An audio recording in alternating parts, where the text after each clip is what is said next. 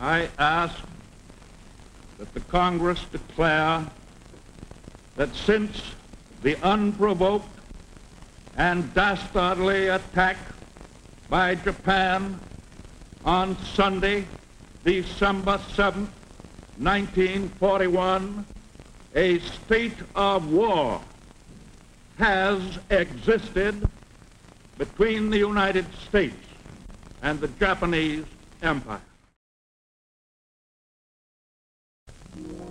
In 1942, FDR startled the world by meeting Churchill, de Gaulle, and Giraud in Casablanca. Gave the Axis two words, unconditional surrender. This was resolved by establishing a family facility at Crystal City, Texas, 110 miles southwest of San Antonio.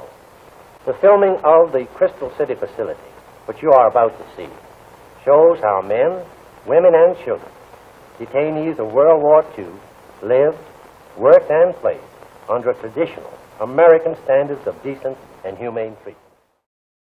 Therefore, with profound consciousness of my responsibilities to my countrymen and to my country's cause, I have tonight issued a proclamation that an unlimited national emergency exists and requires the strengthening of our defense to the extreme limit of our national power and authority. This is the perimeter over which armed guards kept a 24-hour watch.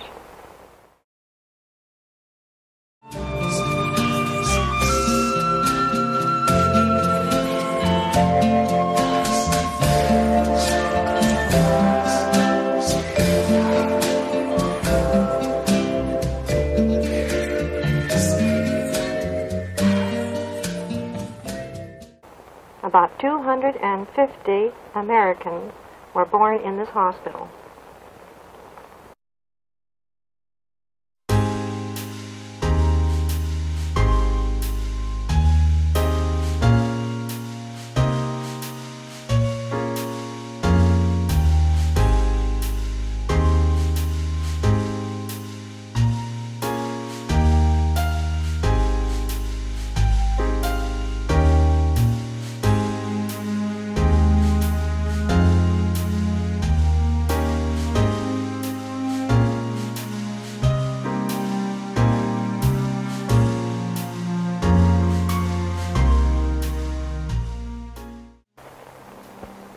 Carefully selected movies were shown each week in the two recreation halls.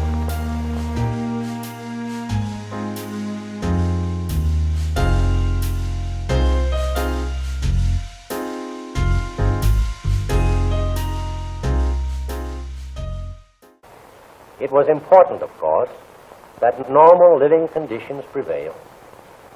And to that end, those detained were expected to do most of the work in connection with the operation of the facility.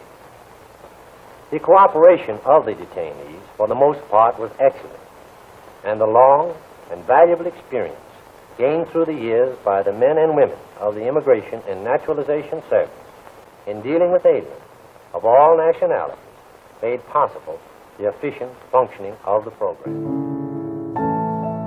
We will never forget you.